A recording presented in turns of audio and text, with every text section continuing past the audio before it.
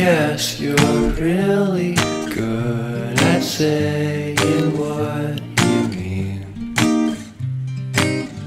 Suppress my feelings, cause I know what's best for me.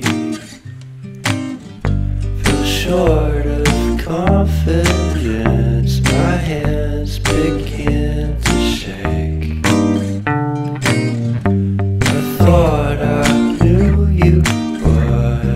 barely knew your name.